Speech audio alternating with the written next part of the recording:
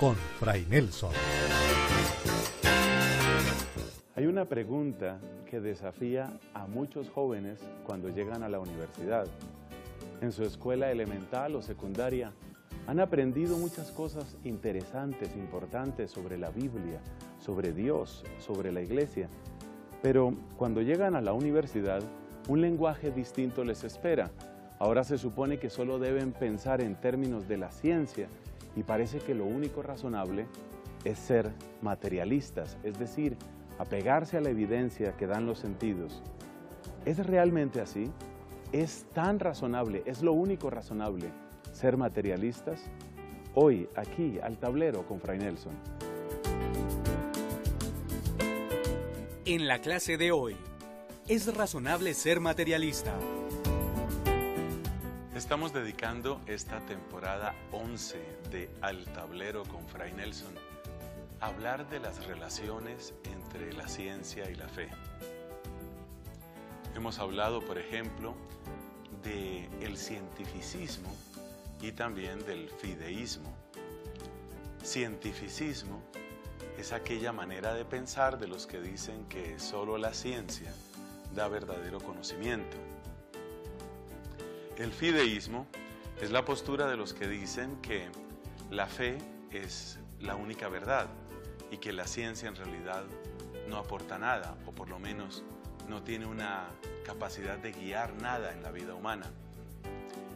Hemos hablado también de esa problemática tan complicada, pero también tan fascinante de la evolución, porque realmente son muchas las personas que creen que si la teoría de la evolución explica completamente el origen de la vida, entonces no solamente tenemos que suprimir eh, a Dios como creador, sino que tenemos que suprimir la palabra de Dios como un relato que sería puramente fantasioso.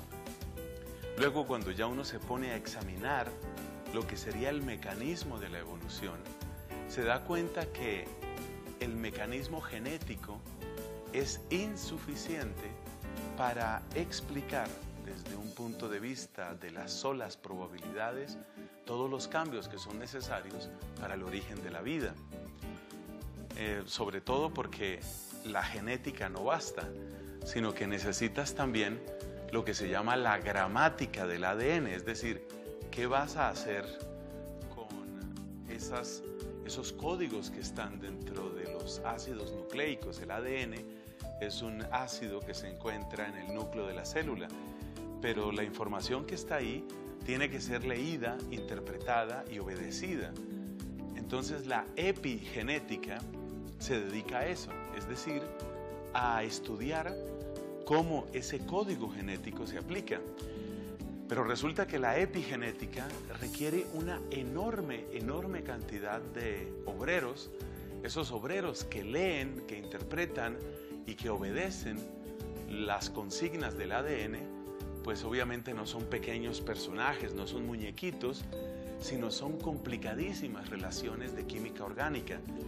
Estamos hablando de decenas de miles de enzimas y de proteínas que tienen que mm, obrar de una determinada forma para que esa información que está en el código genético se traduzca después en la composición o en la construcción de un organismo con todos los comportamientos que también tiene ese organismo.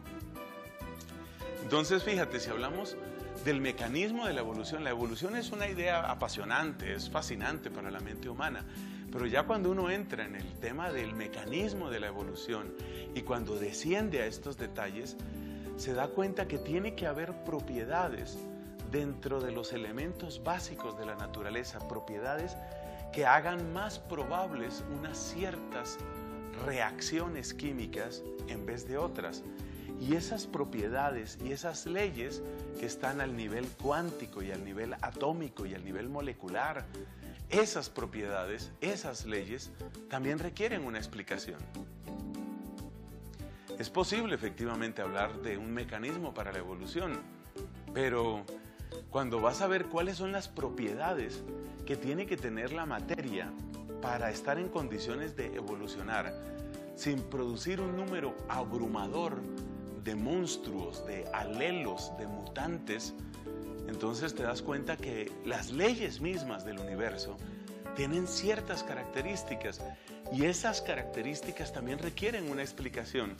Entonces es ahí donde uno se da cuenta que no hay una verdadera contradicción entre creación y evolución, o por lo menos no tiene que haberla forzosamente, porque cuando hablamos de creación estamos hablando de ese tipo de principios básicos, esa clase de leyes fundamentales. ¿Y quién explica esas leyes? ¿De dónde vienen esas leyes? ¿Por qué son exactamente como son?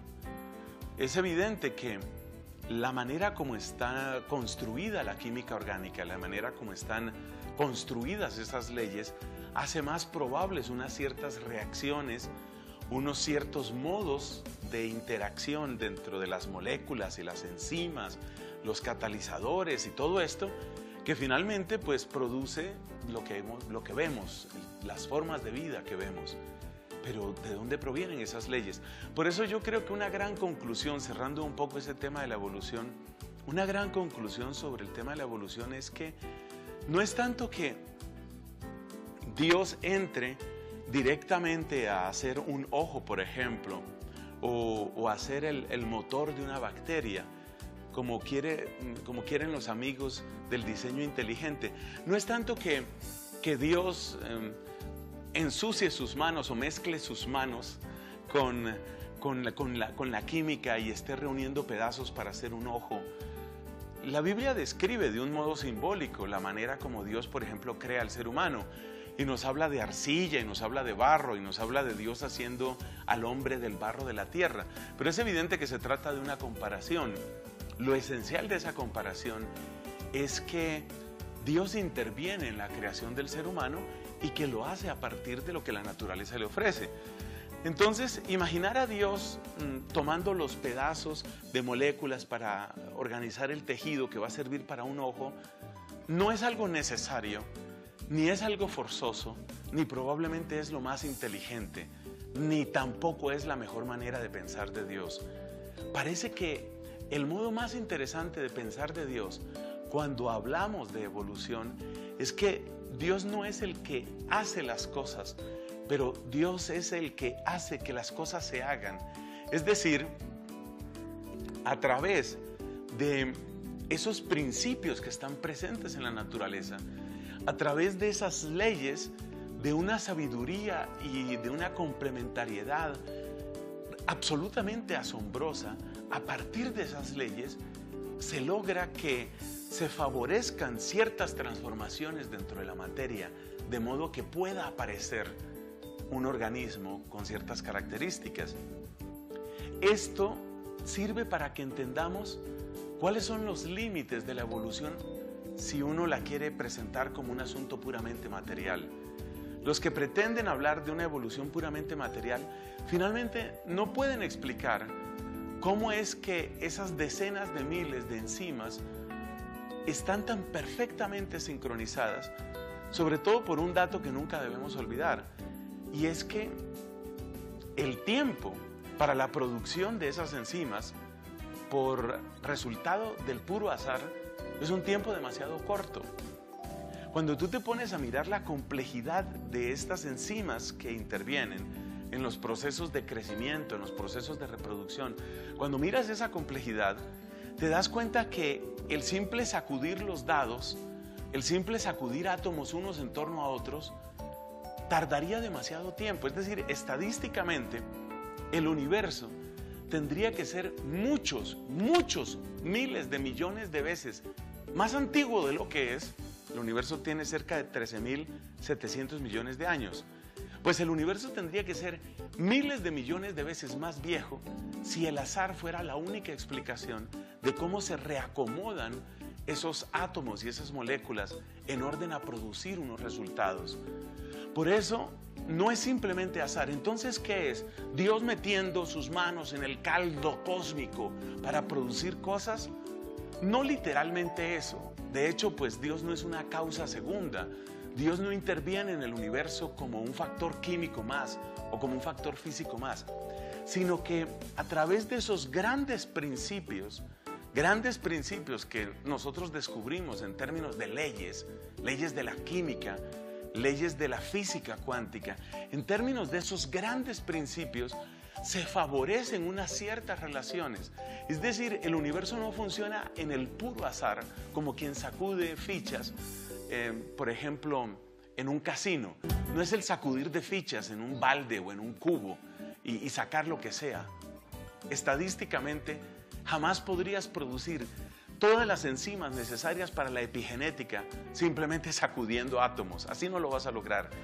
Pero si luego resulta que las propiedades de esos átomos particulares y de esas moléculas particulares son tales, son propiedades tales, que favorecen unos ciertos modos de relación, entonces las características cuánticas y químicas básicas de esos elementos son los que hacen posible que eso suceda. Entonces no es puro azar. En ese sentido, si vamos a ser claros, nosotros no podemos recibir lo que ha dicho Darwin. Nosotros no podemos recibir el puro azar porque no es razonable. Porque si a base de puro azar tienes que producir decenas, probablemente centenares de miles de moléculas con funciones muy precisas, necesitas un universo que sea mucho más viejo de los 13.700 millones de años que sabemos que tiene nuestro universo. Entonces, hablar del solo azar no es posible. Tampoco es necesario hablar de un Dios que, que entra sus manos dentro del caldo químico o el caldo cósmico. Más bien lo que hemos de pensar es que ese Dios, a través de esos grandes principios cuánticos y químicos, favorece aquellas acciones, aquellas reacciones que hacen posible que se vaya dando eso que nosotros llamamos evolución.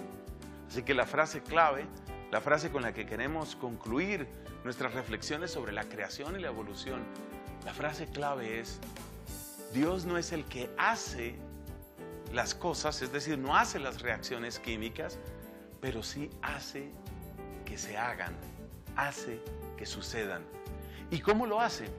Pues lo hace a partir de esos mismos grandes principios que apenas empezamos a conocer. A veces la gente cree que sabemos mucho más de lo que sabemos, en realidad no es cierto. Un cálculo somero muestra que hay más de 100 constantes de la naturaleza, relaciones dentro de, proporciones y, y partículas de la naturaleza y fuerzas de la naturaleza de las cuales nadie tiene la más remota explicación.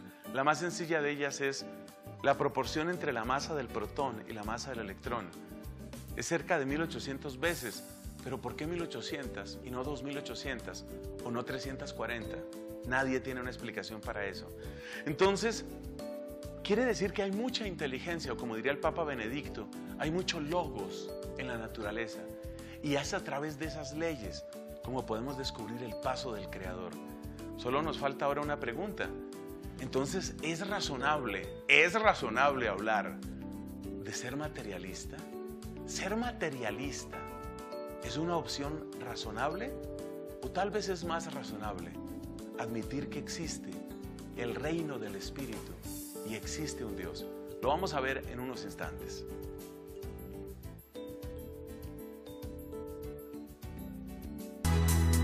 Ya regresamos con al tablero con Fray Nelson.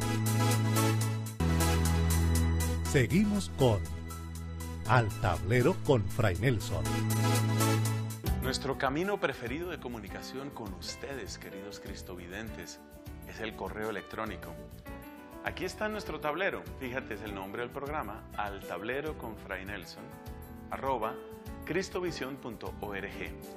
A esta dirección puedes enviar tus comentarios, tus preguntas, tus sugerencias y también tus palabras de ánimo que se agradecen y hacen mucho bien. Hay otro correo que quiero que tengas presente, amigos, arroba. Esta otra dirección te sirve para recibir gratuitamente evangelización católica todos los días en tu buzón. Amigos arroba frainelson.com para recibir material católico todos los días. Y al tablero con Fray Nelson arroba para recibir para tus sugerencias, digo, tus preguntas y tus voces de apoyo. Que Dios te bendiga.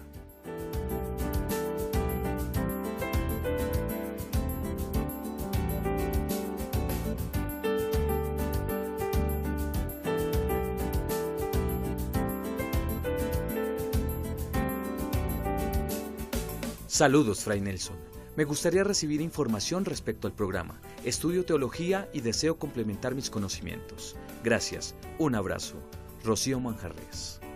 Muchas gracias compañeros de Cristovisión por este excelente programa. Un abrazo. Me gustaría que en la próxima temporada se hable de cosas que hacen parte de la iglesia, pero que no sabemos qué son, como por ejemplo las indulgencias. Muchas gracias. José Cabra. En este programa estamos examinando una pregunta bien importante en esa área de discusión que se llama la relación entre la ciencia y la fe. Para entender bien la pregunta, yo voy a escribir aquí ciencia y voy a escribir aquí fe.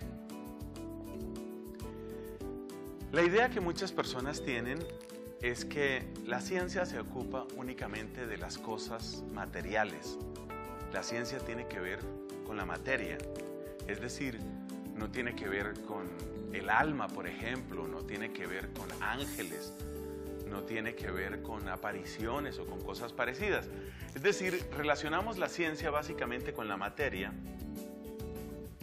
y como la ciencia es un camino de conocimiento supremamente firme, bien establecido y de gran respetabilidad social, es muy fácil que uno diga, lo lógico en esta vida es ser materialista, es decir, nos dedicamos únicamente a la materia.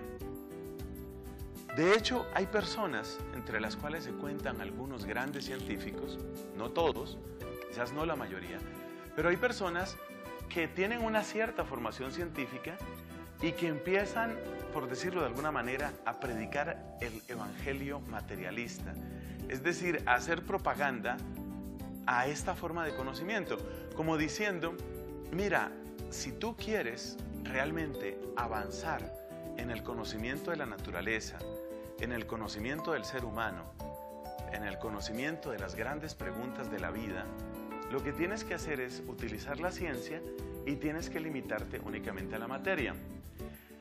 Voy a escribir otra palabra Voy a escribir otra palabra que va a resultar útil dentro de este tema y es la palabra filosofía. Vamos a ver qué tiene que ver la filosofía con todo esto. En la palabra filosofía lo que a mí me interesa en este momento es que ha habido algunos filósofos que son de hecho materialistas. Uno puede recordar, por ejemplo, a Ludwig Feuerbach. Eh, Karl Marx es conocido como economista o como eh, fundador hasta cierto punto de una ciencia política, pero Karl Marx se miraba a sí mismo como teólogo y como filósofo.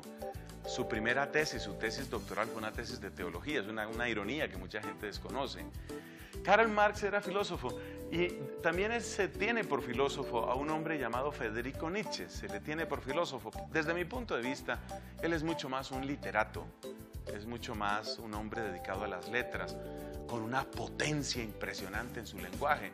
Pero una cosa es tener potencia en el lenguaje y otra cosa es tener verdad en la boca. Son dos cosas bien distintas. El hecho es que usualmente se cuenta a Federico Nietzsche entre los filósofos. Y Nietzsche tiene una frase interesante que podría compartirla con Marx y con Schopenhauer y con Feuerbach y con muchos otros. La frase de Nietzsche es permaneced fieles a la tierra, es decir, no nos dejemos confundir, no nos dejemos ilusionar con otra realidad más allá de la realidad que pueden percibir nuestros sentidos. Según estos pensadores, repito nombres, Feuerbach, em, Nietzsche, Marx, Engels, por supuesto, también en este siglo, gente reciente, uno puede recordar unos cuantos nombres, Daniel Dennett, por ejemplo, que es famoso por sus investigaciones neurológicas y es un filósofo, también es completamente ateo y materialista. Daniel Dennett. Eh, luego tenemos a uno de los grandes predicadores del materialismo en nuestra época, un hombre llamado Richard Dawkins. Eso se escribe D-A-W, eh. Eh, Richard Dawkins, Daniel Dennett, Peter Singer, mm, todos ellos han sido personas, Christopher Hitchens, todos ellos han sido personas que han predicado sobre eh, la necesidad de circunscribirnos únicamente a la materia. Vamos a quedarnos únicamente con la materia. Y para ellos la materia es lo que es comprobable, lo que es percibible por los sentidos. Usualmente el tipo de argumento que estas personas utilizan es que las cosas materiales se pueden comprobar. O sea, yo puedo comprobar, por ejemplo, si una persona tiene mercurio en su cuerpo. El mercurio es terriblemente venenoso en el cuerpo humano. Pero hay exámenes que se pueden hacer para saber si una persona ha sido envenenada con mercurio. Si tiene arsénico en su cuerpo, eso se puede verificar. Los niveles de potasio de una persona en los riñones, eso se puede verificar. Son asuntos materiales, es la materia, es firme. Eso se puede estudiar, eso se puede conocer, eso tiene validez. Eso es ciencia. Mientras tanto, el mundo de la fe, pues para ellos es el mundo simplemente de las ilusiones, los deseos, las fábulas, o peor que eso, es el mundo de las historias con las que se pretende mantener engañada a la gente. Recordemos el odio tan terrible que tenía Nietzsche contra el cristianismo. Nietzsche decía que Platón había tergiversado y había eh, descaminado, desorientado completamente a la filosofía. Y luego pasaba a decir que el cristianismo era un platonismo de la peor calaña. O sea, imagínate qué somos nosotros los cristianos para Nietzsche, ¿no? Porque el platonismo es la torcedura de la filosofía y nosotros somos el peor de los platonismos.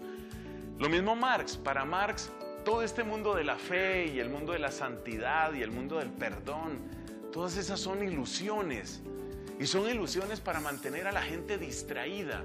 Son ilusiones para mantener a la gente confundida. Son ilusiones también para asegurar el poder de una determinada clase dentro de la sociedad. Esa clase se llama el clero. Entonces, para ellos, la ciencia es verdadero conocimiento, la materia es lo que es realmente firme, la filosofía no es otra cosa sino una elaboración crítica de los enunciados sobre la materia, mientras que este mundo de la fe es el mundo de las fábulas, es el mundo de las historietas y es el mundo de la gente malintencionada, es decir, de la gente que con sus historietas y con sus engaños, pues mantiene al pueblo mm, básicamente a su servicio, es decir, es, es una manera de confundir. Bueno, con todo este esquema, y podríamos dar más nombres, pero creo que no es necesario, uno se pregunta, ¿realmente lo único razonable es la materia? ¿Realmente la materia es lo único que puede tener, que puede servir de fundamento para hablar de la verdad? Cuando se examinan un poco mejor las cosas, pues tenemos que preguntarnos qué es la materia. Y ya ahí la pregunta se vuelve más complicada. Porque claro, cuando uno le hablan de materia, lo primero que uno piensa es en cosas pues, sólidas, eh, cosas verificables, que yo las puedo, por ejemplo, ver, yo puedo verlo, puedo producir un sonido, puedo oír, puedo oler, puedo palpar, es decir, entra por los sentidos. Pero resulta que cuando empiezo a descender en la escala de observación, ya las cosas son más complicadas. ¿Qué es el color, por ejemplo? Cuando una persona ha estudiado física, cuando una persona se ha acercado a estos temas de la ciencia, usualmente ya empieza a bajar el tono de la voz, ¿no? Cuando, primero te dicen, no, la materia, la materia, lo que se puede verificar, lo que, la voz está alta, el timbre está alto. Pero cuando ya le dices, ¿quieres explicarme qué es el color? Bueno, pues el color, ¿el color qué es? Pues el color corresponde a una frecuencia dentro de una onda electromagnética, es decir, hay un campo electromagnético que se encuentra dentro de una determinada frecuencia y cuando eso es percibido por la retina envía unas eh, señales al cerebro y el cerebro interpreta eso como color. Las preguntas siguen fácilmente, son preguntas de filosofía. Yo no estoy tomando aquí la fe como una especie de bulldozer para aplastar lo que dice la ciencia, no. Estoy hablando de preguntas, preguntas que puede hacer cualquier estudiante inteligente. Entonces, explícame bien qué es el color. Pues el color entonces finalmente es algo que interpreta el cerebro. Y entonces, ¿cómo sabemos que vemos el mismo color? Es una pregunta interesante. No estoy jugando con las palabras.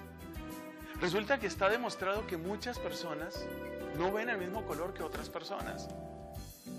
Es que no tenemos las retinas exactamente iguales. Nuestras retinas son diferentes. De hecho, la percepción del color corresponde a un tipo de células en la retina que son los conos. Pero los conos son de distintas clases. Y hay personas que solo tienen dos tipos de conos. Y hay personas que tienen tres tipos de conos. Y hay enfermedades, y hay circunstancias, y hay cambios en los nervios.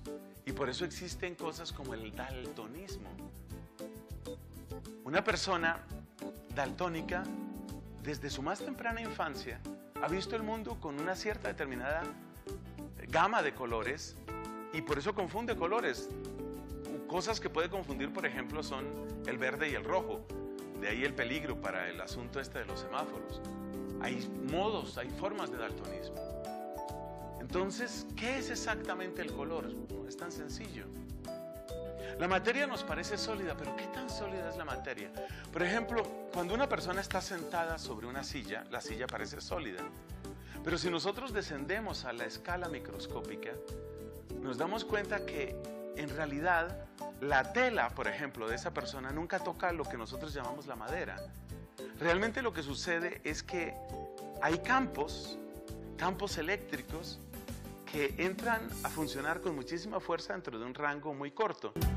De manera que el rechazo entre los campos eléctricos, lo que podríamos llamar la nube de electrones de la madera y la nube de electrones de los materiales de la tela, eso finalmente es lo que impide, el rechazo entre esos dos es lo que impide que la tela entre completamente dentro de la madera, explicado de un modo supremamente sencillo.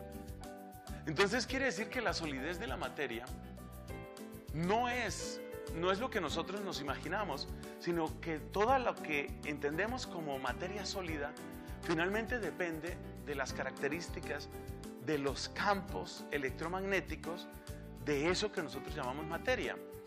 Y esos campos electromagnéticos dependen de unas partículas. Pero el problema está en que nosotros tampoco sabemos cómo son esas partículas. Es decir, nosotros solo tenemos ondas de probabilidad. Tenemos unas ecuaciones matemáticas que nos dicen cuál es la probabilidad de que suceda un fenómeno que llamamos electrón dentro de ciertas características. Entonces fíjate que la pregunta, ¿qué es la materia? Ya es una pregunta que nos remite a un cuerpo de conocimientos supremamente complejo. Un cuerpo de conocimientos que está completamente ligado a palabras como campo, palabras como leyes matemáticas y palabras que por consiguiente ya no se refieren a objetos en el sentido tradicional de la palabra. Cuando yo pienso en una barra de metal, para mí ese es un objeto. Pero cuando digo que la onda de probabilidades de la nube de electrones de lo que llamamos madera entra a rechazar la nube de electrones y de la onda de probabilidad de lo que llamamos tela, y encima de la tela, la pierna de la persona, es bastante más complicado. Y vuelve la pregunta que hemos hecho varias veces. ¿Y esas leyes de dónde? Esas leyes de dónde? La materia no es solo materia, la materia es materia y leyes. Y es aquí donde empezamos a descubrir el aspecto inmaterial de la materia. Las leyes son el aspecto inmaterial de la materia. Sobre este apasionante tema vamos a seguir comentando en nuestro próximo programa. Acuérdate de este elemento.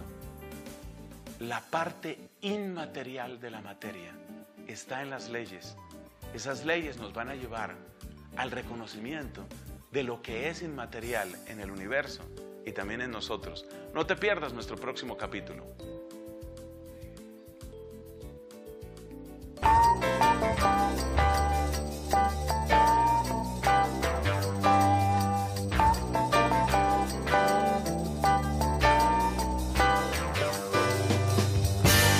Al tablero con Fray Nelson.